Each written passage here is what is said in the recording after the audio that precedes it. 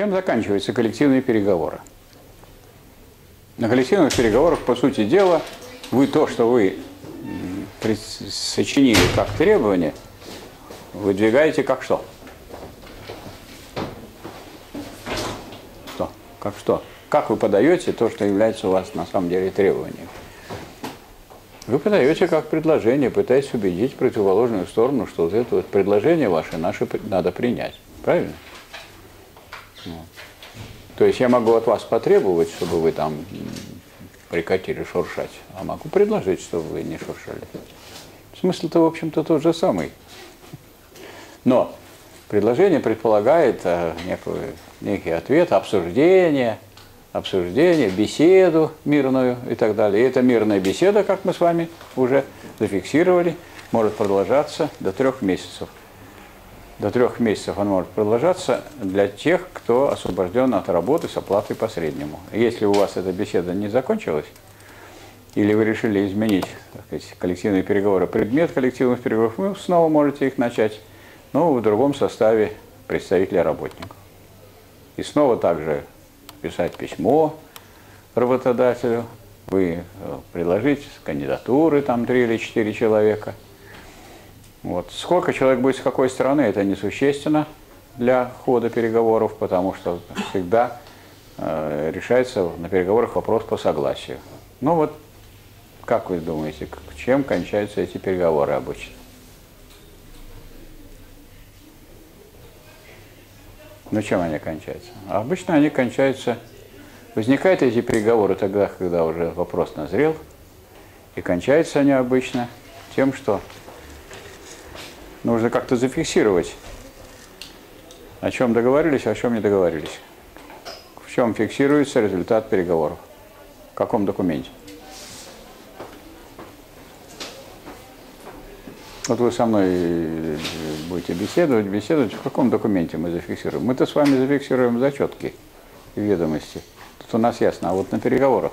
Может, какой-то протокол ведется? Протокол. Какой протокол? То, что вы вели протокол, это протоколы заседаний. Ну, протокол, который потом стороны подписывают. А? Ну, протокол, который э, там уже самих переговоров стороны подписывают. Что соглашение? Что значит стороны подписывают? Какой протокол? О чем? О чем договорились, наверное рамках этих переговоров. Так вы не договорились. Ну, что мы обсудили и какие у нас там варианты развития. Ну, фиксация предложений. Но все-таки то, о чем вы договорились, нечего и протоколы, нечего бумага засорять. А если вы не договорились, если засорили, это у вас будет соглашение по итогам переговоров, правильно? А то, о чем вы не договорились, будете фиксировать? Будем. А как это будет зафиксировано? Протоколе протоколе разногласий. Протокол разногласий. Как пишется протокол разногласий? Как бы вы написали протокол разногласий? Ну, сверху название протокол. А дальше? Ну, э, взяли какой-то конкретный вопрос, по которому мы не можем договориться. Почему и... только один, что ли, вопрос? Нет. Ну, список вопросов, и то есть, например, можно поделить пополам лист, и там, например, Да. э, то, что одна страна предлагает, то, что другая страна предлагает. Не предлагают, а считают уже. Потому что уже предложения закончились, потому что уже итог переговоров. Значит, разногласия эти не устранены, вы фиксируете в протоколе разногласий те разногласия, которые не ликвидированы в ходе переговоров. Ну что-то, о чем-то вы договоритесь, у вас было, допустим, 112 этих разногласий, а осталось 5. Причем это остальные, кроме пяти, были несущественные, а 5 очень существенные.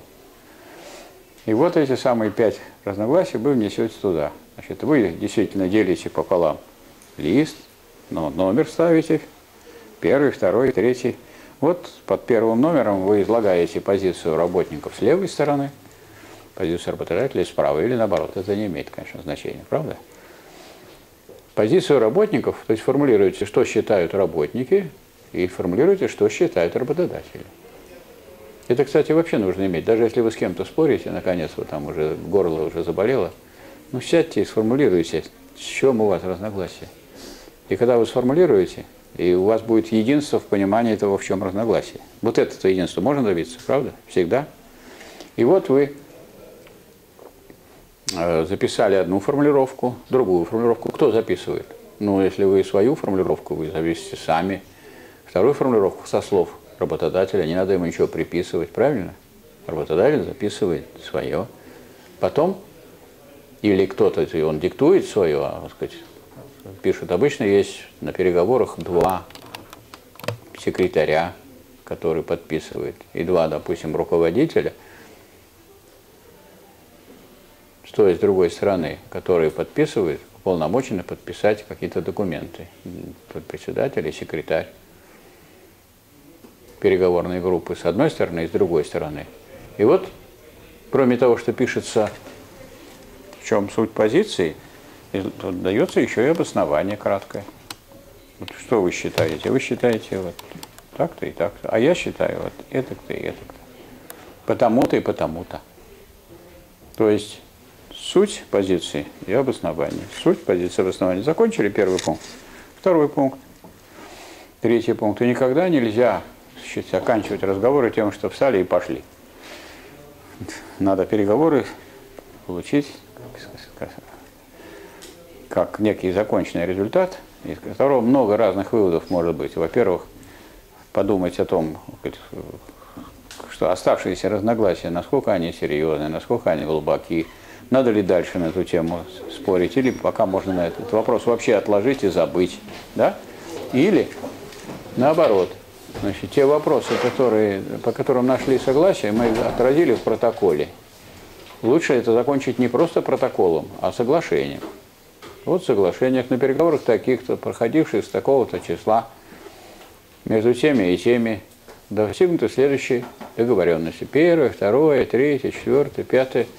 И дальше, и дальше, значит, что вы там договорились? О том, что они будут или изданы приказом, или включены в коллективный договор. Да? Потому что лучше их включить в коллективный договор, потому что приказ может, вот завтра я подумал, подумал и передумал и издал другой приказ. И уже вот вчера вы уже договорились, и все хорошо, и вы довольны вышли, а послезавтра вы приходите, а уже этого нет. Так мы же договорились, так мы не договорились. Мы договорились с приказом, я приказ издал. А я издал другой приказ. Я же могу издавать приказы каждый день, правильно, если я представитель работодателя, генеральный директор. Я издаю. Это нужно и для того, чтобы и работники тоже отвечали за то, что они требуют или что они предлагают. Они должны осознавать. То есть, вообще говоря, вот эта вся процедура, которая имеется в Трудовом кодексе, хотя некоторые говорят, вот она там такая, она всякая, она длительная, но она приучает людей к тому, чтобы приводить мысли свои в порядок и вообще формулировать, что вы хотите, ну что вам надо. Вот так.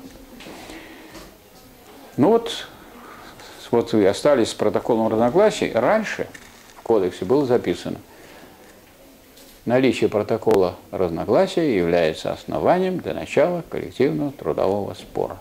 Все, он пошел. То есть вы можете просто написать письмо, что мы начали по этому протоколу коллективный трудовой спор. И просим, так сказать, издать приказ. Вот мы предлагаем теперь в состав примирительной комиссии таких-то, для участия в, в примирительных процедурах таких-то работников, просим освободить их с оплатой по среднему до трех месяцев, и пошла машина.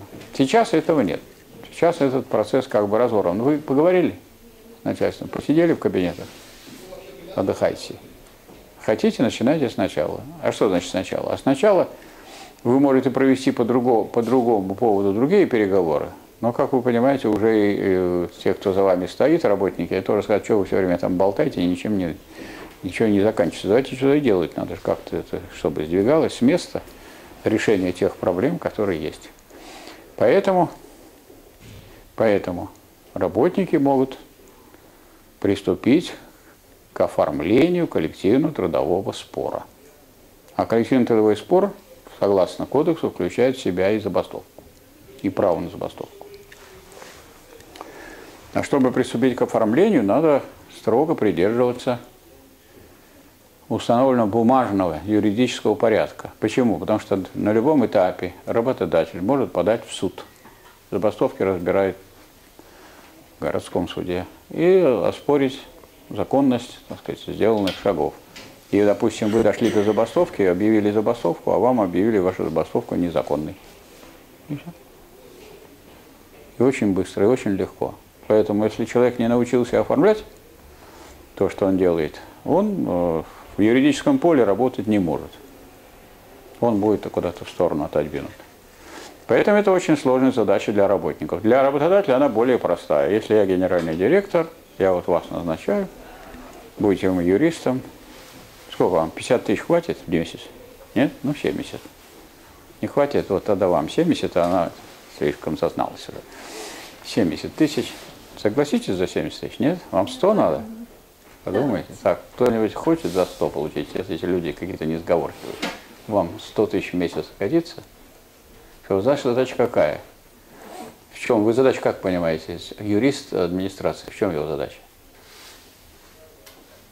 Души все начинания работы. Нет, ну так, эта формулировка такая некрасивая. Значит, ваша задача доказывать, что я строго по закону действую. И все мои действия юридически все обоснованы. И объяснять людям, которые в праве не разбираются, что они не правы, они идут против закона. И действия ваши противозаконные. И пусть они куда хотят идут, а вы должны, если вы не это будете объяснять, завтра я узнаю, что вы не то объясняете. Послезавтра, значит, вы уже не получаете, возвращаемся назад. Но вы подумали уже? Подумали, да, 90 если бы сразу подумали. Поэтому вопрос, так сказать, со стороны работодателя решается очень просто. А работники, которые, может быть, они очень хорошие станочники, там прекрасные работники или работницы, но это вовсе не значит, что они так здорово разбираются. Потому что вы сами по себе судите, вот вы в данном случае все-таки находитесь уже на третьем курсе, да, и эта задача не очень такая простая, все это оформить. И начинается она, во-первых, с вопроса о том, а кто такие вообще, кто может выдвигать требования, кто может выдвигать требования. Как вы собираетесь выдвигать? С толпой встать около завода управления и кричать, да? Так? Что значит выдвигать требования? Как вы это понимаете? Вообще такие случаи были. Иногда работники, зная в природу или породу своего работодателя, они для того, чтобы никто не, никого не обвинили в том, что он зачинщик, вот они эти требования выкликают хором. И вроде бы как и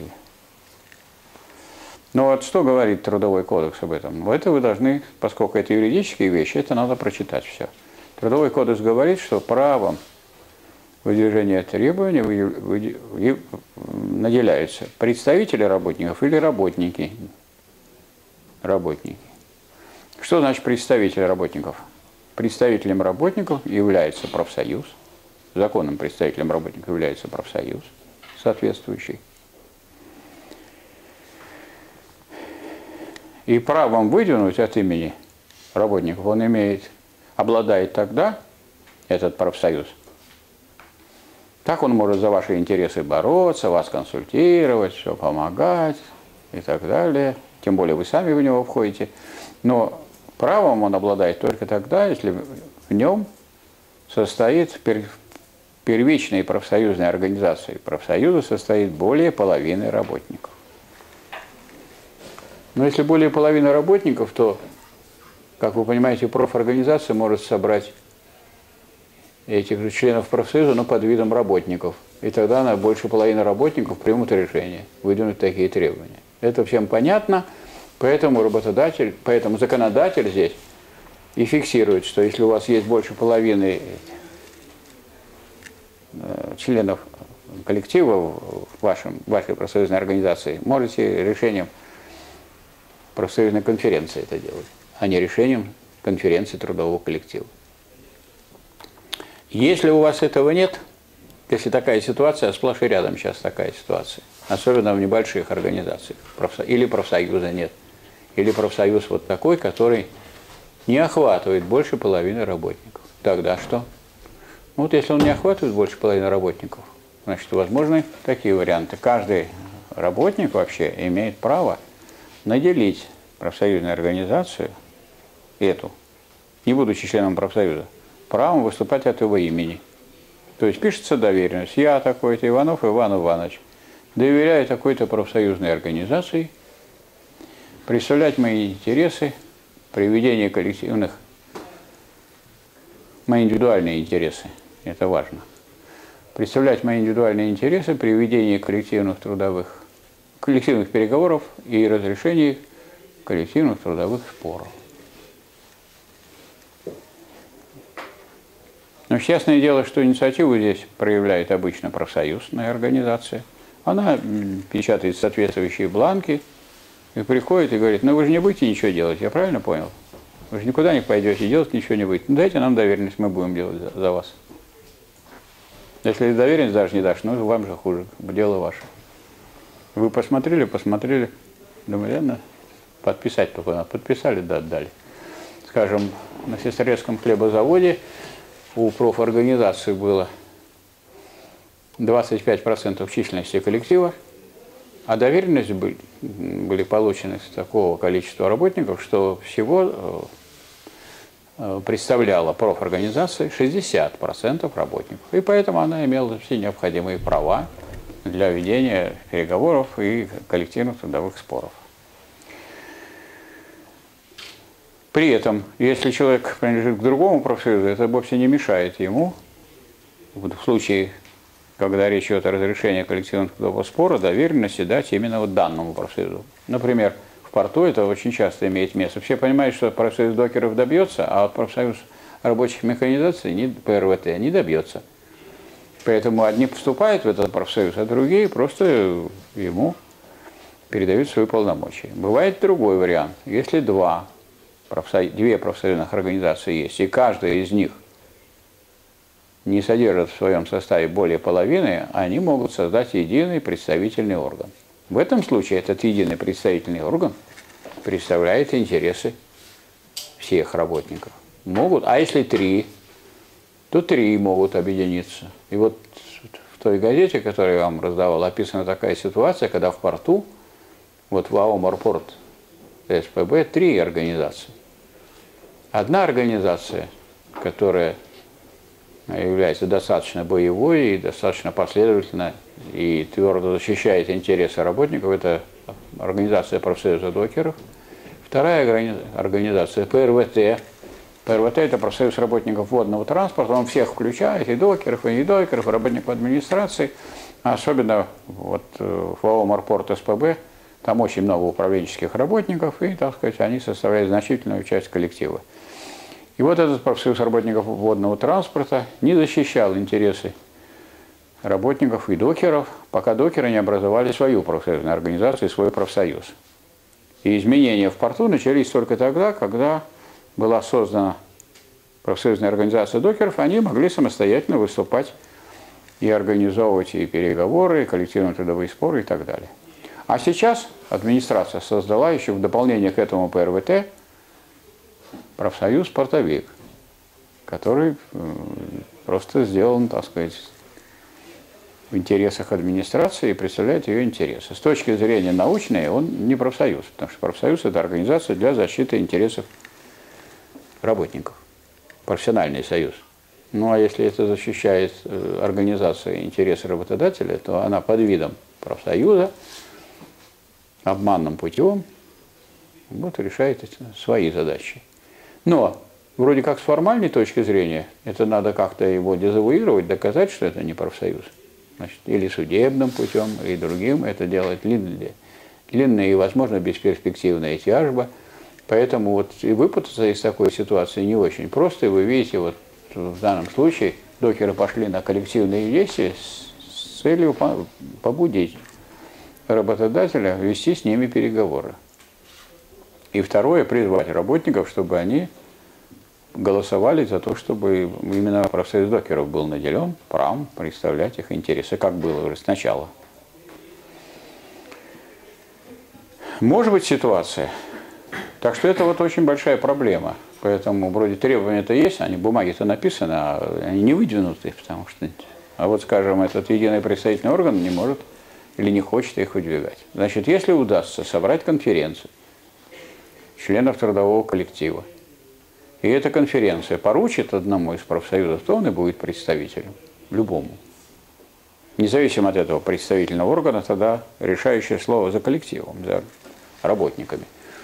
Ну а как вы думаете собрать собрание всех работников? Там их тысячи, да? Не просто. И они работают посменно. Как это сделать? Как вы будете это делать? Вот если вам придется это собирать. Или как что вы порекомендуете, если вот, вам скажут, а как нам собрать? Или не получится так, что а никак не собрать. Значит, существует, существуют разные, так сказать, формы решения этой проблемы. Такие вот, которые надо знать, это не только этой проблемы, но аналогичных случаев, случаев, которые могут быть в жизни. Во-первых, это можно сделать таким образом, что проводится собрание по сменам. Вот считайте, что у нас там три группы есть наших учебных. Одна будет первая смена, вторая, вторая смена, третья, третья смена. Надо провести собрание с единым протоколом, а именно решение вопроса о выдвижении требований и избрание делегатов на конференцию трудового коллектива. На конференцию. Вот пришли, вот, вот в данной группе проводится собрание, оформляется протоколом, что поручить,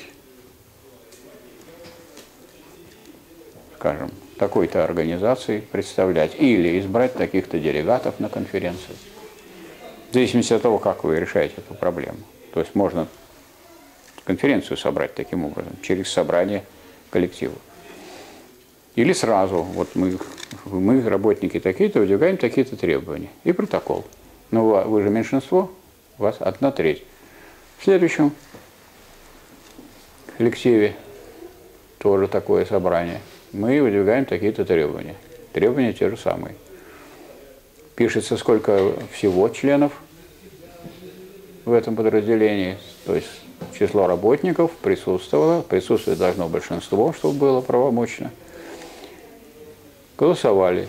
Если за проголосовало большинство, значит все, председатель и секретарь собрания. Все-таки документ подписывается председателем и секретарем собрания. Их надо избрать, естественно, в этом собрании. Протокол написали, этот протокол – документ. Вот прошли так по всему предприятию. Это длительная процедура довольно, да? Длительная процедура и сложная, потому что во время работы как вы будете собирать кого? Как вот будете собирать людей, скажем, представь себе докеры, они все на технике ездят, на погрузчиках. Кто на погрузчике, кто на козловом кране, кто в трюме, как вы будете собирать. Поэтому собрать можно когда? Вот они приходят перед началом смены, встречаются, переодеваются. Если у вас все приготовлено, вы быстро сказали, проголосовали, записали.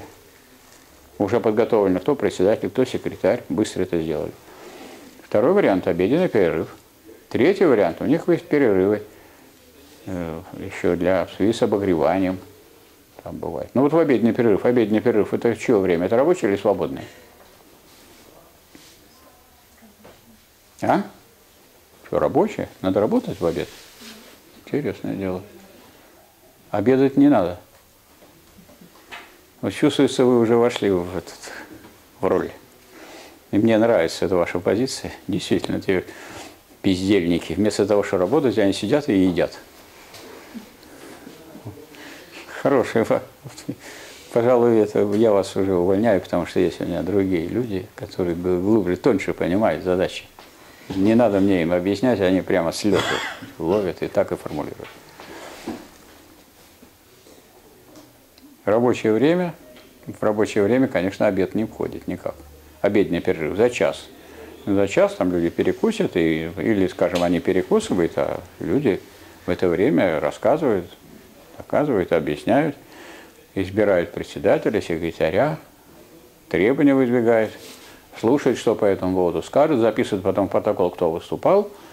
Все. Вот когда эта работа проведена на всех или ну, во всех или в большинстве подразделений, надо так, чтобы в итоге получилось. Потом пишется единый протокол на основании этих протоколов. Протокол, сводный протокол – проведения всех собраний. И получается, что проголосовало всего в организацию столько человек, просуммировали. В собраниях приняло участие вот столько человек, большинство. Если не большинство, значит это не, все недействительно. Дальше из этого большинства за проголосовало вот столько, а против вот столько, воздержалось столько. В итоге большинство. И значит, вы эту задачу бумажную решили, очень непростую. Но это не только бумажная задача. Прежде чем куда-то ходить и выдвигать требования, надо пойти сначала наверх к начальству, а вниз к народу. И вот вы пошли и с этим самым с трудящимся народом эти вопросы решили. За что он, он будет выступать? Не за что вы будете выступать, за что он будет выступать. Потому что если дело дойдет до забастовки, кто будет бастовать? Представительный орган или коллектив? Коллектив. Поэтому это вопрос, который должен решаться и здесь, в этом смысле. Можно, конечно, куда-то побежать, и это все не делать, но сказать, или как-то пытаться это оформить недостаточно недостаточно основательным образом, ни к чему это хорошему не приведет. Другой вариант, вы просто собираете подписи за эти требования. Вот приходите к ней говорите, вы будете подписывать за такие требования? Вы не будете, я понял. Хорошо, и не подписывайте. Я сюда пошел, сюда пошел, сюда пошел. И собираются подписи. В кодексе трудовом записано, что можно эти требования выдвинуть путем сбора подписей если трудно собрать людей. А трудность может быть связана с тем, что вот согласно закону, согласно закону, работодатель обязан предоставить вам помещение для собраний и конференций. Ну что со мной будет, вот, если я не предоставлю вам помещение для собрания? Скажите, пожалуйста. Ну что вы со мной делаете? Ничего не будет. Правильно. Золотые слава. Поэтому сплошь и рядом. Нечего тут собираться, нечего тут мутить воду и идите отсюда. И все. Есть люди, которые сразу думают, что надо пойти в суд. суд это вы потеряете только время и силы. Такие а суды стараются вопросы в спорах коллективных вообще не решать, потому что когда это вот у вас регулировано в кодексе, вы решаете там через споры. Все. Дальше. Дальше Какие у вас еще есть варианты? Вот вроде вариантов у вас других, так сказать, не остается. А если вы провели собрание и избрали делегатов конференции, проводится конференция. И если у вас небольшой коллектив на собрании достаточно больше половины, чтобы было правомочно ваше решение, то на конференции, если уже вы представители собираете, значит правомочное решение, если за него проголосовало не менее двух третей вот две трети проголосовало за эти требования, тогда они считаются утвержденными. И после этого тогда тот орган, который избран, если никакого у вас профсоюза нет, то значит, на этих собраниях одновременно нужно провести голосование за этот орган представительный, который уполномочен представлять интересы работников. Вот эти Иванов, Петров и Сидоров, которые будут трое или пять человек, лучше пять вот, которые будут представлять интересы работников на, на всех этапах разрешения коллективного трудового спора. Представлять. А уж кому они поручат вести переговоры, это второй вопрос. Это второй вопрос. И вот этот орган вместе с требованиями нужен, потому что если у вас нет органа, то и требования некому, э, собственно, выдвигать, а если есть кому выдвигать, то некому дальше потом следующие шаги делать. Ваши требования никто не озвучивает, никто никаких писем не пишет. И если кто-то пишет какие-то письма, вы мне приносите письма, говорю, вы кто такой? Что такое? Идите и работайте. У вас есть документ, что вы уполномочены представлять интересы работников? Нет? Ну и не мешайте мне работать. Вот когда будете, вот дорастете до этого, тогда приходите. Я ничего плохого не сказал. Я с уважением отношусь к работникам. А ко всяким выскочкам – которые говорят, я тут уполномочен. Чем вы уполномочен? Вот я сейчас посоветую с юристом. Идите к ней, она вам объяснит, кто вы такой, более пространно. Поэтому этот вопрос, который так вот строчкой записан, там вот избираются, назначаются, требования выдвигаются, это очень сложный вопрос. То есть это целый, должна быть пройти эпоха в становлении этого коллектива, что он был в состоянии требования выдвинуть. Если он этот этап проходит, есть требования, есть представительный орган, либо это профсоюз, либо это представительный орган нескольких профсоюзов, где какой-то боевой профсоюз во главе. А если он во главе не боевой, это дохлый номер дальше двигается. Или, или, и, сказать, это прямо вы избираете представительный орган, который помимо этих профсоюзов будет представлять интересы работников. И вот, хотя, как вы понимаете, у профсоюзов прав больше, чем просто у работников, поэтому Безусловно, есть специальные законы о профессиональных союзах, поэтому люди, которые в профсоюз не вступают, они тем самым лишают себя значительной степени защиты. Значительной степени защиты. Вплоть до того, что вот освобожденные профсоюзные работники не могут запросто вот так вот, не освобожденные от основной работы профсоюзные работники, то есть избрали кого-то профоргом или прогруппоргом, и заместители, они раньше все члены профсоюзного комитета не могли быть уволены без вышестоящего, э, без решения вышестоящего органа профсоюзной организации. Потом появилось только, не могут быть уволены только председатель и зам. Потом какой-то предприниматель написал письмо в Конституционный суд, и там написал, что, дескать, это дискриминация. Как это так? Вот обычный член профсоюза может быть уволен, член правкома может быть уволен, а вот этот вот председатель и сам не могут. Хотя это люди не освобожденные, они работают на работе. И на самом деле они сталкиваются, они выражают так сказать, вот, позицию работников, и на них обрушивается возможный гнев, так сказать, и репрессии со стороны работодателя. Дескать, это вот э, дискриминация остальных работников, и этот пункт Конституционный суд признал неконституционным. И он прекратил действовать. Ну вот сегодня я посмотрел свежий вариант Трудового кодекса в «Консульталь плюс», 374 статья, по-прежнему она действует, видимо, в 2014 году сказать, этот пункт так или иначе вернули все-таки в Трудовой кодекс, и он там есть. Таким образом, в соответствии с правом на объединение, иначе это подрыв вообще права на объединение в профсоюзы. Таким образом, получилось, что э, имеется орган, имеется требования, эти требования продуманы, и они связаны с, с решением вопросов, так сказать, так, фундаментально, связаны с коллективным договором, с его изменением, улучшением – то есть они не просто сказать, в стороне от всего того, что сделано, решают проблему, а в контексте, в связи со всем, что уже сделано и что имеется в коллективе. И вот после этого надо написать письмецо работодателю. Что, уважаемый там, как бы вы ни относились к товарищу, с которым вы собираетесь спорить, надо написать вежливое письмо, которое подписывает руководитель представительного органа, вот. Или председатель и заместитель, если это из двух представительных, если представительный орган состоит из двух прав, правкомов. И в этом письме вы пишете, направляю вам требования работников. Да? Направляем вам требования работников, просим их удовлетворить.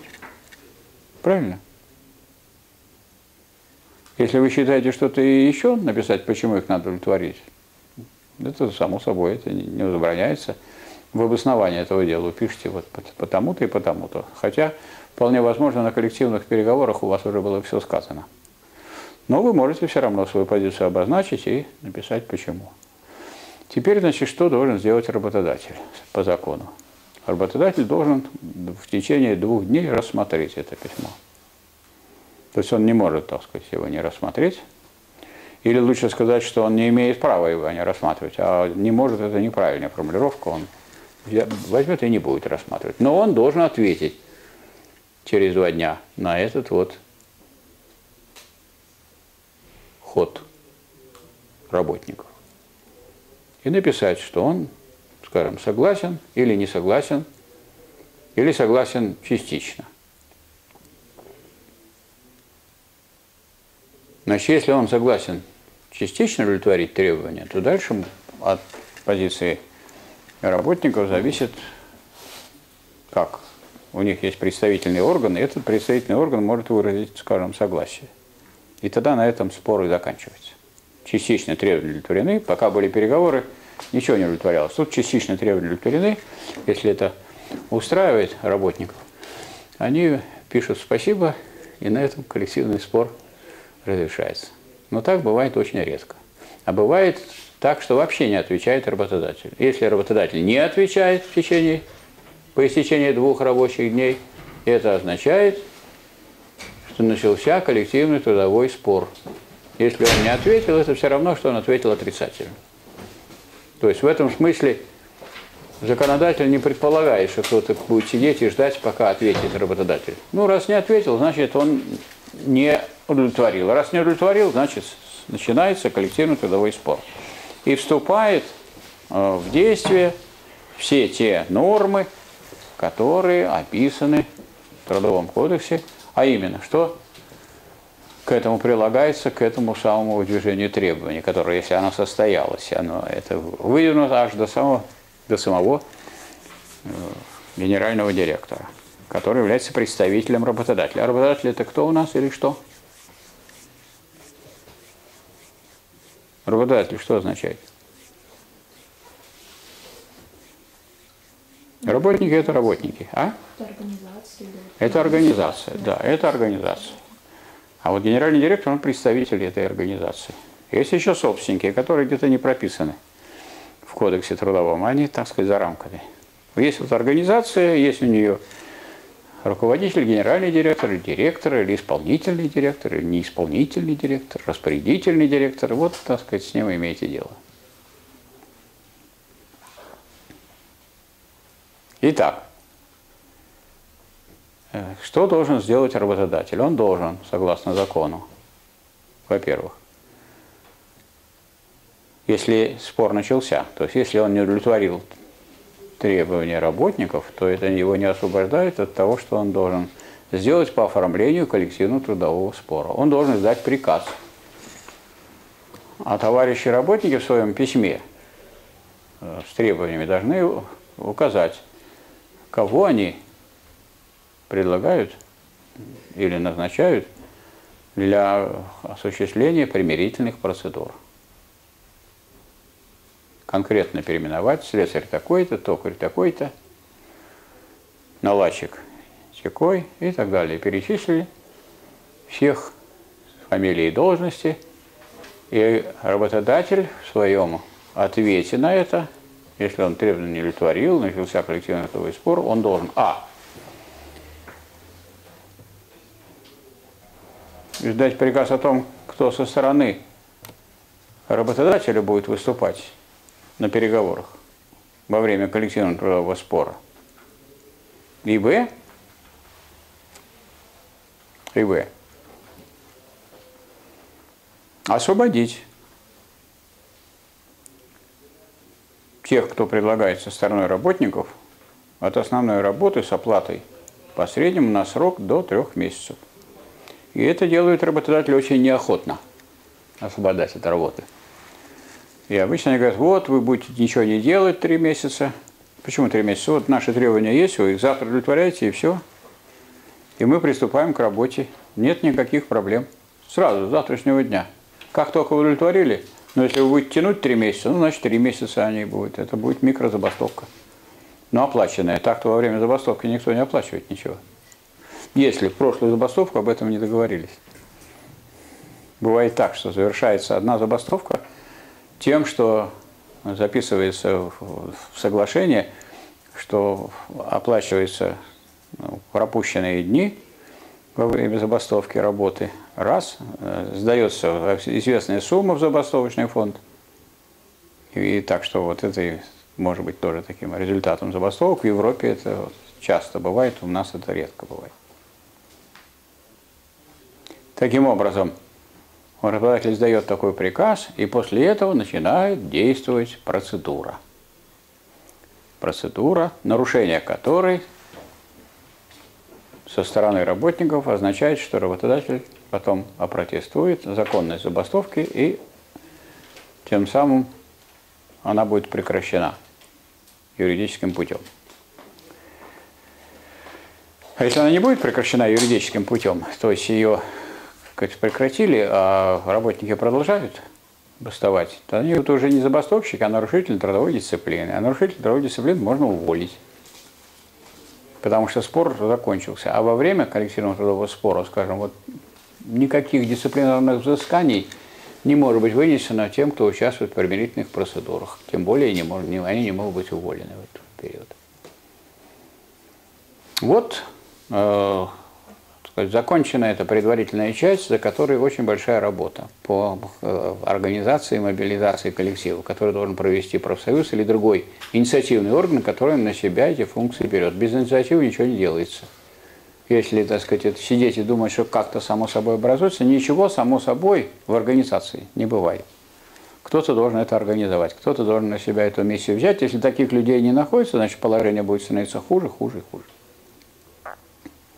И это вполне естественно, потому что каждый отставит свои интересы. Если вы не отставите свои интересы, вам будет хуже. А я отстаиваю свои интересы, мне будет лучше. И так складывается ситуация экономическая. Далее. Примирительная комиссия работает в течение трех рабочих дней. Раньше она неделями работала. Теперь, значит, законодатель все это сокращает дни примирительной комиссии. Ну и, видимо, и работодатель считает, что нечего долго разговаривать, и его представители в Думе тоже считают, что нечего долго разговаривать, все равно никто не примирится на этой примирительной комиссии. Если дошло дело до коллективного трудового спора, это скрытая форма конфликта. Поэтому уже тут не спор. Спор был во время переговоров. А когда это коллективный трудовой спор, то раньше и закон назывался союзный во времена Горбачева – о разрешении коллективных трудовых споров в скобках конфликтов. Когда делали российский закон, после уже уничтожения, разрушения Советского Союза, то слово конфликты потеряли, конфликтологов оставили, э, не назвали вас спорщиками, а конфликтов, а как бы и нету. Есть споры. Про конфликты ничего не говорится. Какие это конфликты? Вот сидят, разговаривают. Поэтому, значит, через три дня этой самой примирительной комиссии наступает время до следующих процедур. Обычно чем кончается примирительная комиссия? Тем, что вы составляете, ну, во-первых, на каждом заседании надо составлять протокол каждый день. А что делать, если я представитель работодателя и не подписываю? Что будете делать? Вы составили протокол, а я не подпишу. Сказал, не подпишу, значит, не подпишу. Меня знаете, нет? Не подпишу. Что будете делать? Ваши действия. Мы зафиксируем, что работодатель такой-то, такой-то отказался. Что я плохой, да? Хорошо. И что еще? Еще? Что Акт напишите. Как вы зафиксируете? Ну, да. Акт напишите. Ну, зафиксируйте. И что? Это не конструктивное действие. Пишите протокол свой, да подписывайте. В чем проблема-то? Ну, не подписывайте не надо, но вы подпишите. И там же к нему приложите акт, что он отказался. Но у вас протокол есть, и к нему приложен акт, что тот, кто писать акт, отказался, а своего не составил. Ну и все. Вам это не... Вам оформили, пошли дальше. Не надо даже нервничать по этому поводу. Так. Что после примирительной комиссии? Раньше после примирительной комиссии была такая содержательная так сказать, фаза, как трудовой арбитраж. И мне приходилось вот в этой фазе участвовать, и не раз, в том числе в качестве трудового арбитра по приглашению службы по разрешению коллективных трудовых споров, который возглавлял у нас северо-западную службу товарищ Валерий Иванович Котлобаев.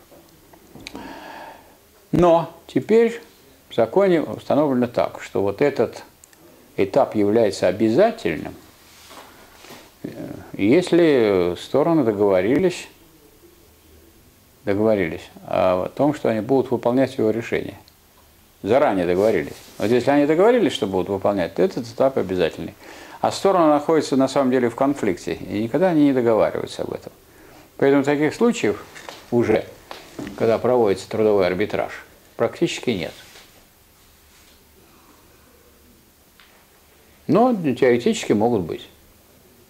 Вот э, ни о чем не договаривались работодатель работники, потом говорят, ну давай договоримся, что сейчас мы проведем трудовой арбитраж, и И его решение обязательно для нас. Хорошо, вот она вас убедила, а у нее дружки там в этой службе.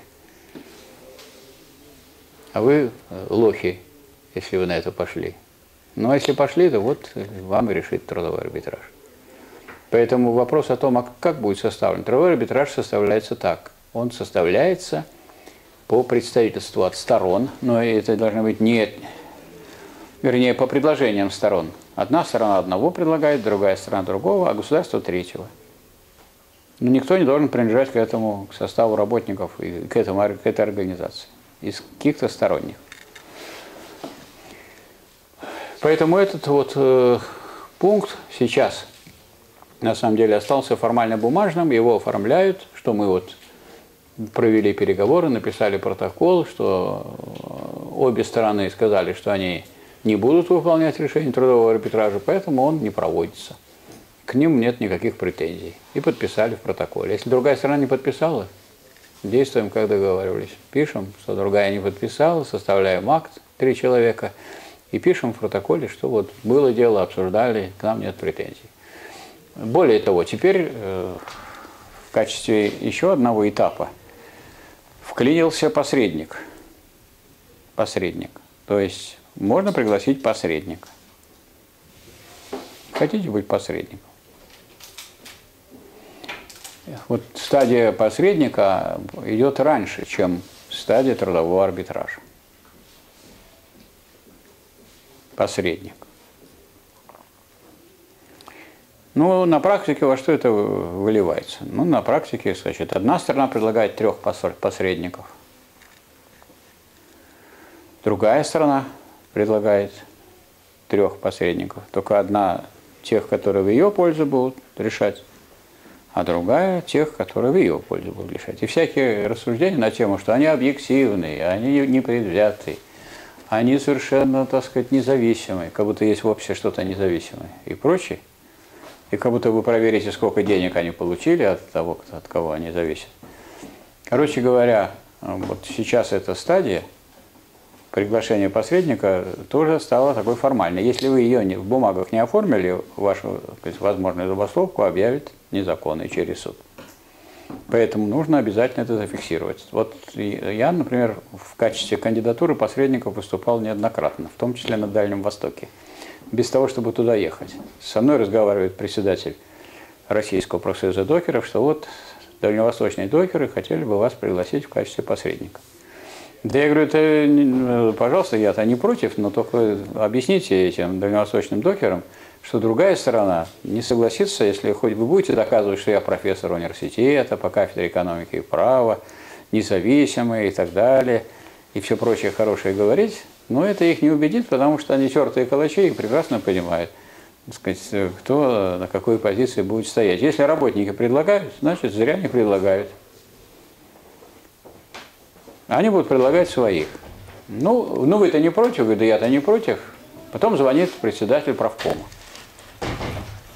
с Дальнего Востока. Я ему тоже самое объясняю, что, да, пожалуйста, можете меня записать там, вот мои данные, записывайте. Ну, вы-то не против? Я-то говорю, не против, но только не, не думайте, что там это дело будет как-то решаться. Потом проходит какое-то время, молчат. Я звоню, спрашиваю, ну а что вы молчите-то, что а говорит, у нас решился вопрос. Мы предложили вашу кандидатуру, и этот вопрос решился. И мы договорились, у нас спор закончился. Ну вот бывает и так иногда. То есть тут поняли что-то серьезное, через всю страну начинается спор, и, видимо, работодатель решил, что лучше это дело не ввязываться. Но не так решилось, что меня э, кто-то назначил посредником, потому что такого, что обе стороны признали, такого ни разу не было. Вот в арбитраже я был по приглашению службы по разрешению коллективных трудовых споров в порту. А э, в качестве посредника, и я не видел и не знаю ни одного случая. Я, например, знаю, что предлагали нашего бывшего проректора э, Виктора Георгиевича Долгова, доктора экономических наук, профессора. Он э, в 100 лучших предпринимателей Санкт-Петербурга входил. Его предлагали тоже, не понравилось. Предлагали депутата Государственной Думы, Виктора Аркадьевича Тюлькина, когда он был депутатом, тоже им не понравился. Короче говоря, ну, предложения были сделаны, они зафиксированы, все есть, то есть это вот в бумагах отработано, все. Как только все эти процедуры пройдены, то есть реальная примирительная комиссия, она всегда бывает. И бумажные приглашения посредников и трудовой арбитраж, вот если вы это все оформили, тогда можно переходить к следующей стадии. Какой?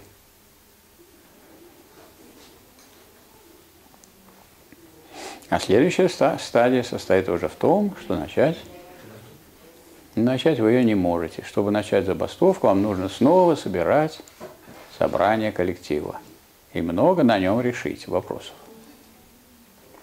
А как ее собирать? Ну, если вот вы не можете собрать коллектив, или конференцию, или собрание, или конференцию, то вы прибегаете к тем формам, о которых я уже говорил. То есть вот вы все придумываете, что должно быть это решение, если вы представляете собой инициативную группу, или те, кто представляет инициативную группу, все придумывает, а потом оформляет через письменные подписи большинства членов коллектива. Вот под этим, если подпишется большинство членов коллектива, только не вздумайте это, допустим, отдать другой стороне, она сразу же раз и в печку. Поэтому надо иметь два экземпляра. Или отдать им ксерокс, посмотреть. А можно и не отдавать. Пусть у вас в руках будет, они могут смотреть, листать, а из рук не надо упускать. Это не их. Вы никому не обязаны это отдавать. А показывать можете. И смотреть они могут. Смотрите, сколько хотите. Нам для родного своего директора ничего не жаль. Посидим, полистаем, посмотрим. Копировать не даем. Нет такого. В кодексе, что вам давать копировать. Вот есть, что должно быть обеспечено. А вот в суд, если у вас будет сомнения, мы подавайте в суд, мы в суде покажем, и вы проиграете. Только и всего. Короче говоря, короче говоря, вот это опять сложная процедура. Вроде бы все уже решали, и, никак, и выхода на забастовку здесь никакого не получится. Все начинается сначала. Вот вы должны снова эти самые требования записать, эти, за которые будет народ бастовать. Может, вы в ходе этих примирительных процедур по каким-то пунктам договорились, написали новые протоколы разногласий по итогам работы примирительной комиссии. И у вас требований стало меньше. И на забастовку выносится меньше требований, чем было до этого. А может быть, что-то и прибавилось, когда вы после такой примирительной комиссии, по которой вы поучаствовали, вы поняли, что надо еще выдвинуть дополнительные требования. Раз не получается по-хорошему, то может быть так и наоборот. Раз не по-хорошему, то требований будет больше чтобы в следующий раз администрация легче соглашалась. И такое может быть. Значит, вы выдвинули эти требования, но надо, чтобы за них, чтобы это было оформлено. Либо это делает опять профсоюз, в котором имеется более половины работников, либо представительный орган нескольких профсоюзов, либо это делается от имени всего коллектива через собрание коллектива или конференцию коллектива, это является большой проблемой собрать. Если у вас все бумаги подготовлены, можно провести конференцию, например, или собрание в обеденный перерыв. И это все может занимать. Это подготовлено уже тем, что уже все люди в курсе дела, уже все знают, все обсуждают. И это может быть сделано, если все бумаги подготовлены, сразу избирается председатель, секретарь, голосование, подписали, закончено. Все, следующий коллектив и так далее. Но это большая-большая организационная работа. Поэтому, когда люди не понимающие, как это делается, говорят, вот, что это никто не бастует у нас в России. Да, потому что это очень трудно. Дескать, вот все хуже и хуже, они сидят, эти рабочие, в ус не дуют, не бастуют. А из-за них и нам плохо. То есть это очень большая. И наоборот, те люди, которые прошли школу забастовок забастовочной борьбы, но это люди, которые находятся на, на другом уровне вообще гражданской активности, это люди с другим достоинством, которые могут за себя постоять, интересы свои защитить, и с которыми надо уважительно разговаривать и иметь дело. Во время всех этих процедур, о которых мы с вами говорили, никто вам не мешает проводить коллективные действия, которые законом не запрещены. И я уже об этом говорил, что вот какие это могут быть действия. Это могут быть бесконечные профсоюзные собрания, это могут быть демонстрации, митинги, ну, с соответствующим уведомлением, как полагается оформлять. Это могут быть замедленные работы, это выполнение э, нормы только на 101%, а не на 180, не на 160 отказ от сверхурочных работ и работы выходные дни. И вот эта новая форма, которую применили докеры «Морпорт СПБ», они для себя определили сумму там полторы тысячи рублей. Вот вы должны наработать не больше полторы тысячи рублей. Кто работает больше, штрихбехер. Вы знаете, сколько вы получить должны за эту сумму? Вот и как увидите, что вот полторы тысячи и все. Вот так растяните работу, чтобы у вас было ровно полторы тысячи за этот день получено и вы, и вы, и вы, и так далее. И это тем самым э, представляет собой определенную форму воздействия на предпринимателя. По существу забастовка формально нет. Формально нет. То же самое, скажем, люди приходят на работу, приходят, ну давайте технику. Приходит технику, о, это сломано, то не работает, это некачественно, то некачественно.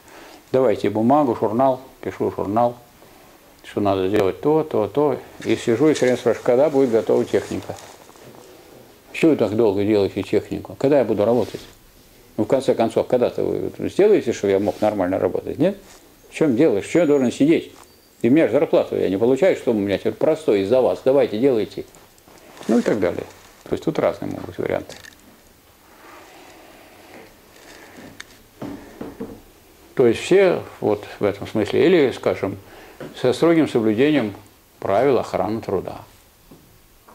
Надо внимательно изучить все эти правила и строго-строго их соблюдать. Если их строго-строго соблюдать, то работа быстро не пойдет. Например, нужно вот утром выслушать доклад инженера по технике безопасности. Вот вы сколько мне можете вопросов задать? Хватит на лекцию? На полтора часа. Ну, вы распределите уж, когда будете. Мы можем прорепетировать с вами на консультации. То есть подготовились так, и все задают, и задают, и задают, и задают. Только я хотел что-то закончить, пойти домой. Нет, нет, вот у вас поди, вот посидите, Михаил Васильевич, еще еще вопрос, еще вопрос. А почему вот это так? А вот это почему так? И так далее. То есть это, надо сказать, что вот э, такие вещи, как коллективный трудовой спор, это не, не просто наука, это еще искусство. То есть тут надо каждый раз что-то придумывать. И люди должны быть э, так сказать, с, с мозгами и с, с умением подойти к этому грамотно и творчески. Ну вот, тем не менее, значит, удалось эту стадию пройти. Если вы почитаете литературу по забастовкам в России, то сплошь и рядом пишут люди, так сказать, которые сами не проводили забастовок, не умеют, и безграмотные, и полуграмотные, которые не знают этой всей процедуры, и никогда не пытались ее делать, вот они пишут, что в России невозможно провести законные забастовки. Вот я вам докладываю, что это ложь. В порту все забастовки, которые проводились, все законные. Все оформлялось. Полностью все, что требуется.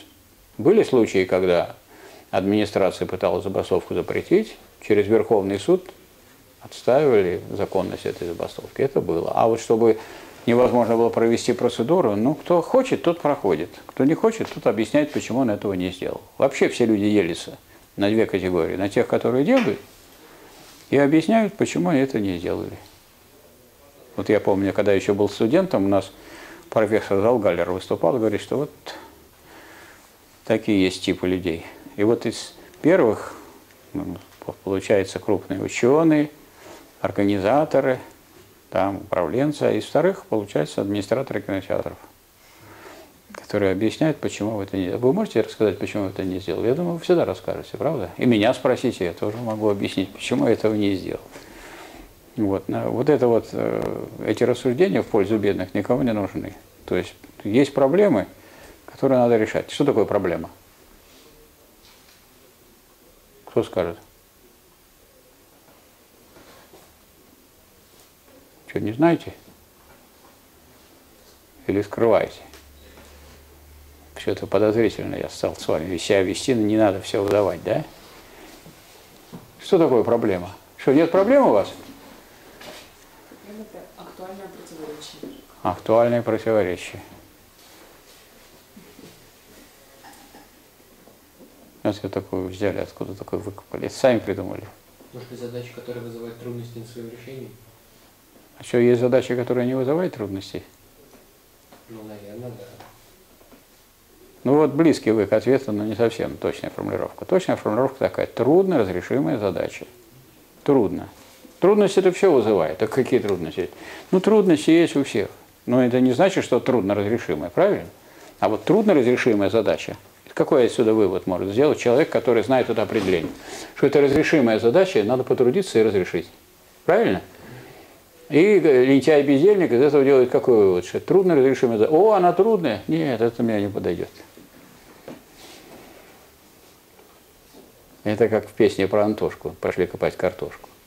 Тили-тили, трали-вали, это нам не задавали, это мы не проходили. Так. Трудно разрешимая задача. Так вот, эта задача непростая, трудное оформление, и надо ее пройти. И в оформлении этой встают еще такие вопросы, которые и не знаешь. Оказывается, нужно еще обязательно уведомить орган местного самоуправления о том, что у нас будет забастовка. Вот я однажды вместе с докерами за компанию ходил в этот орган местного самоуправления, какой-то у нас там морской фасад был э, органа самоуправления. Пришли, а его начальник этого органа местного самоуправления скрывался, потому что он предполагал, что придут сообщать о том, что тут забастовка в порту.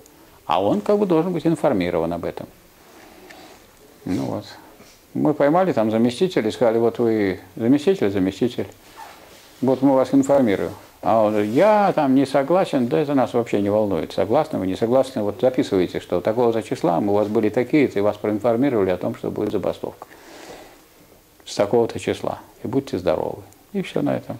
И себе отметили в бумагах, что такого-то числа состоялся визит в такой-то орган, и там это было зафиксировано. Еще одна вещь, которую, э, я думаю, мало кто знает. Существует еще такой порядок, что во время забастовки – это надо все сделать заранее, и все это до начала забастовки это все осуществить. Нужно согласовать с работодателем, с которым у вас острейший спор, а, перечень работ, которые будут выполняться во время забастовки. Минимум работ, которые будут выполняться. Это вот представление о забастовке, что сейчас тут все просто баста и никто ничего не делает, неправильное. Потому что есть там какие-то грузы, которые для обороны страны. Есть какие-то товары, которые нужны для больных, и которых нельзя оставить без лекарств, правильно? Есть такие предметы потребления, если торт это одно дело, а если черный хлеб, то, видимо, тут тоже надо подумать. То есть нельзя людей оставлять без питания – без основных продуктов питания и так далее. Короче говоря, есть всегда некоторый минимум, который нужно согласовать с работодателем. Ну и как происходит это согласование? А так и происходит, как во всяком споре. Работодатель говорит, вот все, что вот мы делаем, это и есть вот минимум. А докеры говорят, нет, это вот не минимум, а мы вот будем делать вот это, вот это и вот это. А тот говорит, нет, это вы подрываете тут всю экономику нашей всей страны. Я с этим не согласен. Как решается тогда вопрос? Тогда начинается либо один вариант решения согласиться с работодателем и сказать, хорошо. Был такой случай, когда во второй севидорной компании минимум было включено,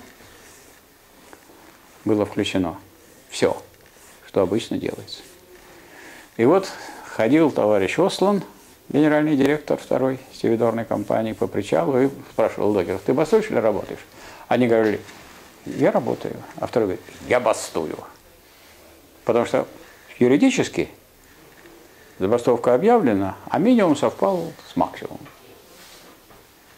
А во время забастовки, между прочим, нельзя, так сказать, применять дисциплинарные меры к забастовщикам. Во-вторых, те, кто организовывает забастовку, они не могут быть уволены без санкций тех, кто их поставил, в данном случае конференция трудового коллектива и так далее. Или этот орган, который, вот это, вот это забастовочный орган, орган, который, забастком, который управляет всем процессом во время забастовки, должен быть избран. А если это избрание у вас в бумажной форме, значит, должно быть записано в бумагах, что вот он есть такой орган. Ну, а если это не устраивает, а это, конечно, не устраивает докеров, что вот, значит, минимум это максимум, они должны обращаться куда? В суд. Они обращаются, нет, они обращаются в администрацию сначала. Вот они в Кировскую район администрацию обращаются. Администрация, если она решит это положительно, воздействует на работодателя, то все. Нет, тогда обращается в суд. И вот в районном суде Кировского района этот вопрос решался, и э, докеры доказывали вот такой минимум, а работодатель доказывал, что другой минимум. Ну и в итоге все-таки этой всей борьбы решили эту проблему. Суд решил и определил минимум работы. После этого, надо сказать, много воды утекло, и министерство издало разъяснение, и в этом разъяснении указано, что является минимум работ. Поэтому в бумагах министерских надо разбираться, еще искать, как там определяется минимум работ для вашего, вашей отрасли и предприятий вашего профиля. на сегодняшний день. То есть там вот таких проблем очень многих, которые заставляют подумать на, на тему о том, а почему его народ не бастует. Да потому что народ пока только при подготовке забастовки должен вырасти на голову и стать большим конфликтологом, чем конфликтологи, которые здесь учатся. Потому что, как вы понимаете, одно дело я вам рассказываю, другое дело вам ногами надо все пройти и все это проделать. Поэтому это достаточно сложная процедура, и люди, которые это проделали, они, конечно, уже другие люди. Другие люди и по-другому себя ведут, ну и по-другому потом и разговаривают, соответственно. Потому что они знают, за что они, знают, чувствуют поддержку, они получили везде это большинство, они его организовали.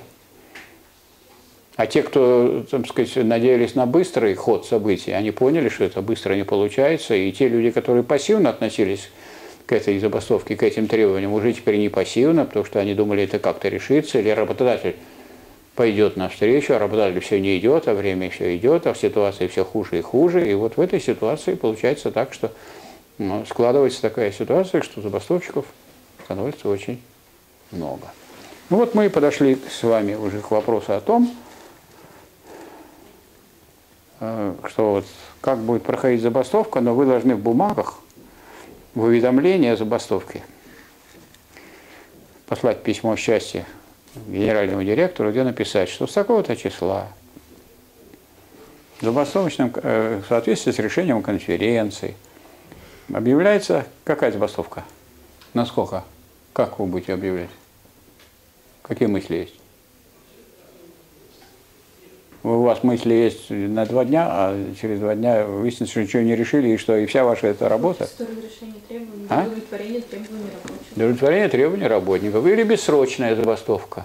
Или удовлетворение требований работников. Удовлетворение требований – хорошая формулировка. Дескать, мы и завтра готовы, правильно? То есть это очень хорошее для всех остальных органов. Дескать, мы мирные люди, мы вообще не за забастовку. Просто вот этот упирается, товарищ, понятно, непонятно почему.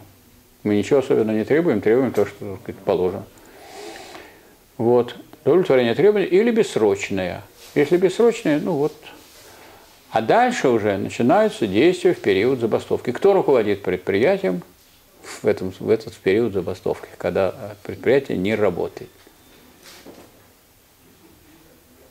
Кто? Ну, кто руководит? Баском руководит. Ну, приедет корабль и скажет, нам нужно разгрузиться. Придет к генеральному директору, там, как обычно, в и все. Те говорят, а мы, у нас забастовка. А кто может решить вопрос? Вы можете решить? Нет, мы их не можем решить. Генеральный директор не может решить. А кто может решить? Ну, идите вот за Баском. Те могут решить. Те пришли за Баском, разговаривают, объясняют, что что-то надо, нужно. Вот мы привели то, что там тем, тем надо и так далее. Если убедят за Баском, за Баском скажут, так, вот вы сейчас, вот вы сидели, просто сейчас будете работать. И вы. И вот он. Идите, разгрузите этот корабль, а потом опять. То есть это вот такой сложный процесс. И довольно интересный. И надо сказать, что вот э, у нас таких коллективов, и у нас, и вообще на Западе, и вообще в мире не так много, которые умеют пользоваться правами, которые относятся к числу конституционных прав. Потому что право на забастовку записано в Конституции и означает всего лишь одно, что у нас нет принудительного труда. То есть вы меня не можете заставить работать на любых условиях, а только на, тех условиях, на которых я согласен. Но одно дело, когда меня индивидуально принимают на работу, там бесполезно сражаться, и даже никакой процедуры толком нету э, решения индивидуальных трудовых споров когда меня не берут, допустим. Что я там могу отстаивать? А другое дело, когда я член коллектива, и вместе с коллективом вот определенные права можно себе, а, иметь, и б, завоевать, и записать в коллективный договор. Все, что хотите, то есть, что добьетесь, то и записывайте. Вот такая ситуация. Спасибо за внимание.